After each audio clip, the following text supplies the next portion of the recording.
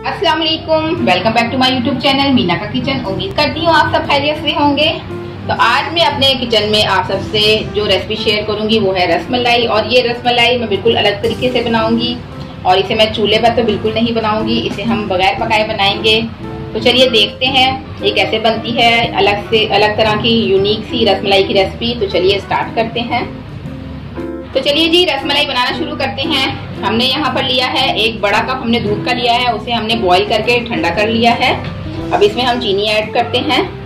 इसमें तकरीबन हम छह से सात टेबल स्पून चीनी ऐड करेंगे, क्योंकि रसमलाई के लिए जो हमें दूध चाहिए होता है, वो थोड़ा ज़्यादा मीठा होता है। और ठंडा होने के बाद मीठा वैसे ही थोड़ा सा कम हो जाता है तो इसलिए हम चीनी ज़्यादा डालेंगे इसके अंदर। और चीनी को अब इसमें हम मिक्स कर लेंगे अच्छे से, ताकि दूध में चीनी अच्छे से हल हो जाए। ज़्यादा ठंडा दूध नहीं है ये। हमने बॉईल करके उसको हल्का सा बस रूम टेम्परेचर पे ठंडा कर लिया है। तो चलिए जी, हमने दूध में चीनी को अच्छे से मिक्स कर लिया है। अब हम रस मलाई बनाना शुरू करते हैं। तो यहाँ पर हमने डबरोटी के आठ स्लाइसेस लिए हैं। ये देखें, हमने इस तरह के कॉर्नर्स उतार लिए हैं। यहाँ हमने बड़े साइज़ की डबरोटी नहीं ली। हमने ये इस तरह का छोटा साइज़ लिया है। तो अब हम इसे रसमलाई बनाना शुरू करते हैं। और एक हम स्लाइस को हाथ में पकड़ के, जिसमें ये दूध चीनी वाला जो है, इसे हम थोड़ा थोड़ा सा करके डबल रोटी के ऊपर लगाएँगे, ताकि हमारी डबल रोटी नरम हो जाए। ये देखें। इस तरह से हमने लगा लिया।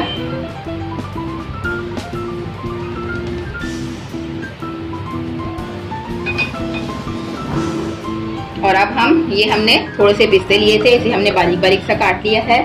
अब इसे हम थोड़ा सा लेंगे और डबल रोटी के सेंटर में रख देंगे और इसे हाथ की मदद से हम इस तरह से पुश करते जाएँगे। तो चलिए अब इसे हम हल्के हल्के हाथ से इसे हम पुश करते रहते हैं और इस तरह हम इसका एक पेड़ा सा बना लेंगे। इस तरह आहिस्ता आहिस्ता हमने इसको दबाना है हल्के हाथ से।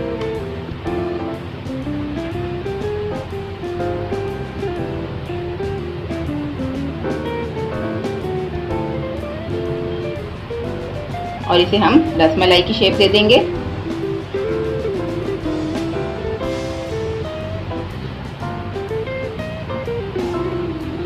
तो चलिए जी, देखिए, हमारी पहली रसमलाई बनकर तैयार हो चुकी है। देखिए, कितने अच्छे से परफेक्ट बनी है दोनों तरफ़ से। ये देखिए, इसे हमने हल्का हल्का से पुश कर दिया था। रसमलाई की शेप दे दी है। अब इसे हम प्लेट में रख देंगे। इसी तरह हम दूसरी भी बना लेंगे। इस पर भी। और ये हम दूसरी पे भी इस तरह दूध लगा लेंगे। बहुत ही आसान और जल्दी और झटपट बनने वाली रेसिपी है। आपके घर कोई अचानक मेहमान भी आ जाए तो आप इसे ये मीठा बनाकर जल्दी से खिला सकते हैं। और ईद पे भी आपने मेरी रेसिपी ज़रूर ट्राई करनी है। इस तरह हमने तो चलिए, इस पे भी हमने दूध से देखें डबरोटी को नरम कर लिया है। इस पे हम पिस्ता लगाएँगे। ड्राई फ्रूट आप अपनी मर्ज़ी का कोई सा भी यूज़ कर सकते हैं। जो आपको पसंद हो, मैं यहाँ पे पिस्ता यूज़ कर रही हूँ। तो इस तरह हम इसे भी पुश कर लेंगे किसके कॉर्नर आपस में जोड़ लेंगे इस तरह से। और इसका एक बॉल सा बना लेंगे।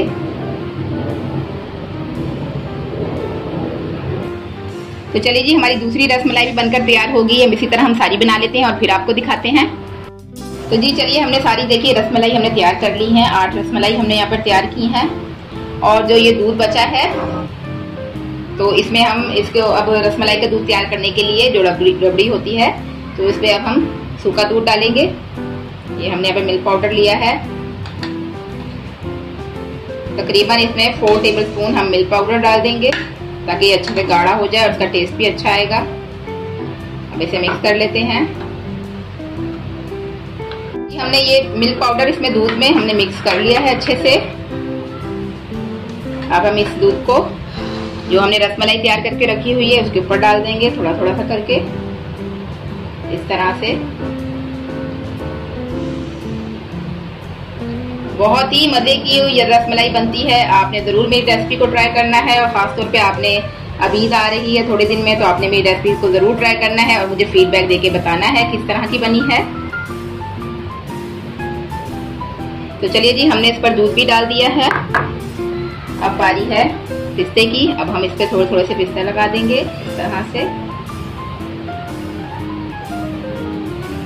ये देखिए, बहुत ही सॉफ्ट मुलायम रसमलाई हमारी बनी है, जाते ही मुँह में घुल जाएगी। और बहुत ही अलग तरीका है रसमलाई का, शायद ही किसी ने इस तरह से बनाई हो। ये देखिए, हमने लगा दिए पिस्ते इसके ऊपर। अब इसे हम फ्रीजर में ठंडा कर लेंगे, आधे एक घंटे के लिए। फिर आपको दिखाते हैं। तो जी, हमने रसमलाई को फ्रीजर में आधे घंटे के लिए हमने ठंडा कर लिया है और ये देखिए, अच्छे से हमारा दूध भी इसमें ठंडा हो चुका है सारा। तो मैं आपको एक ट्राई करवाती हूँ किस तरह की बनी है।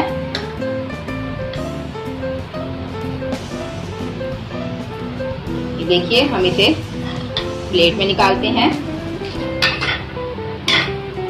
और ये देखिए, मैं आपको तोड़ के दिखाती हूँ एक कितनी ज़्यादा सॉफ्ट बनी है और कितनी अच्छी बनी है। ये देखिए। उम्मीद करती हूँ आज की वीडियो आपको पसंद आई होगी तो इसी के साथ ही मैं आपसे इजाज़त चाहूँगी। इंशाल्लाह से नेक्स्ट वीडियो में मुलाकात होगी, तब तक के लिए अल्लाह हाफिज।